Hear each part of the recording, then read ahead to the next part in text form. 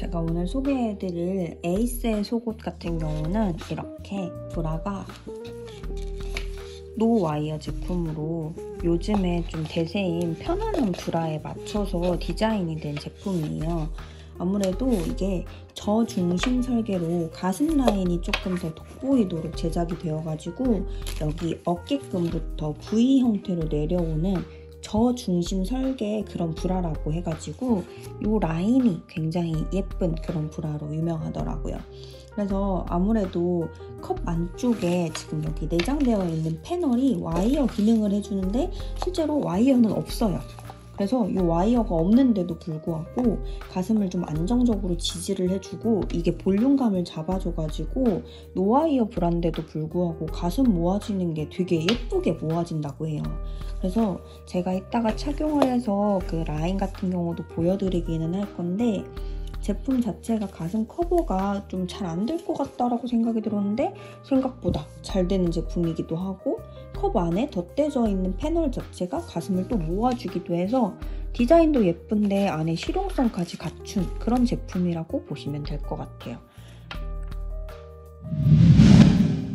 브라와 같이 팬티도 이렇게 있는데 보시면 아시겠지만 이렇게 비침이 별로 없어요. 그래서 간혹 가다가 얇은 팬티들 같은 경우는 비침이 있는 경우가 많은데 얘는 비침도 별로 없고 소재 자체가 굉장히 고급스러워가지고 굉장히 가벼워요. 그래서 이렇게 보면은 전체적으로 굉장히 가벼운 소재에 해당하는데도 불구하고 실제로 이렇게 가까이서 보시면 비침이 거의 없는 게 좀 장점인 것 같아요. 그러면 제가 한번 착용석을 보여드리면서 더 설명을 드리도록 할게요.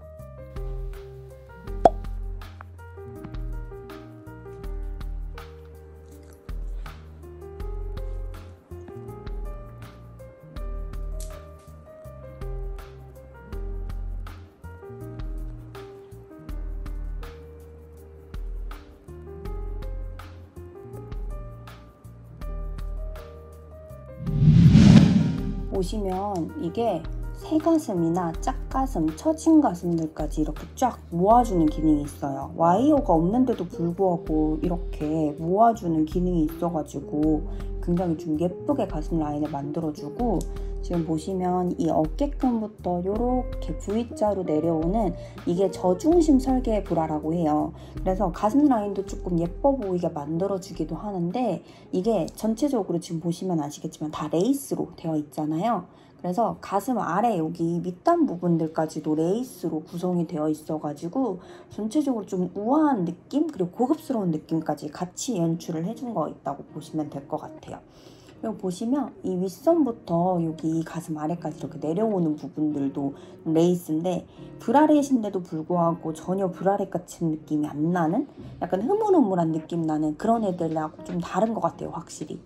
그리고 아까 보여드렸듯이 안쪽에도 저희 안에 패널이 들어가 있어가지고 캡 안에 내장이 되어 있는 패드들 덕분에 이 가슴 자체도 지지대가 역할을 딱 이렇게 잡아주기 때문에 전체적으로 좀 안정감 있는 느낌이 드는 것 같아요. 그래서 제가 제품 한번 뒤에를 보여드리면 이렇게 좀 전체적으로 부유방도 그렇고 등살도 그렇고 매끈하게 정리를 해주는 만큼 여기가 꽉 라인 자체를 잡아줘서 옷 입었을 때 나는 여기 부유방이나 등 날개 쪽이 튀어나와서 그게 보기 싫다 하시는 분들은 옷을 입을 때 이런 식으로 전체적으로 가슴을 좀 모아주면서 여기 정돈까지 가능하니까 훨씬 옷 자체를 예쁘게 입을 수 있는 것 같아요. 블랙은 이런 느낌이고 제가 이거 말고 피치 색깔도 한번 보여드릴게요. 이건 피치 색상인데 저는 개인적으로 이 컬러가 훨씬 저랑 잘 어울리는 것 같고 화사한 느낌이어가지고 뭔가 다른 좀 밝은 옷들하고 입어도 매치하기 좋은 것 같아요.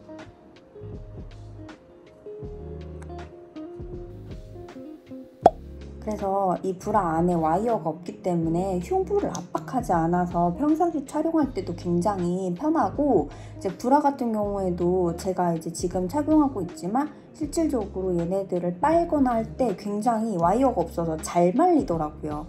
그래서 좀 세탁하거나 그럴 때도 굉장히 편할 것 같아요.